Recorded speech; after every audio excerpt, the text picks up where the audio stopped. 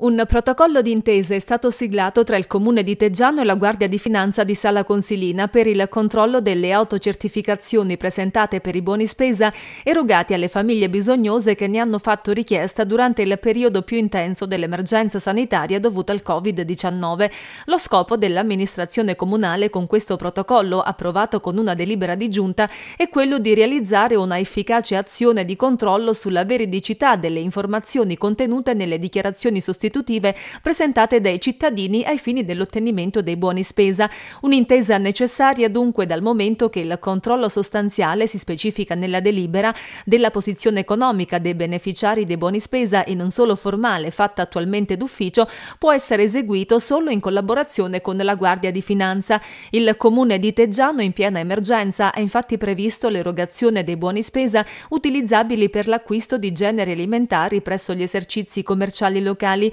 e ha previsto anche l'erogazione di un bonus economico una tantum alle microimprese artigianali e commerciali con sede nel territorio comunale, alle fasce più deboli della popolazione residente e ai nuclei familiari del comune maggiormente esposti allo stato di disagio economico. Per l'ottenimento dei buoni spesa era sufficiente presentare la domanda con una autocertificazione, per cui ora partiranno i controlli realizzati in collaborazione con la Guardia di Finanza per accertare che i buoni spesa siano andati alle famiglie realmente bisognose.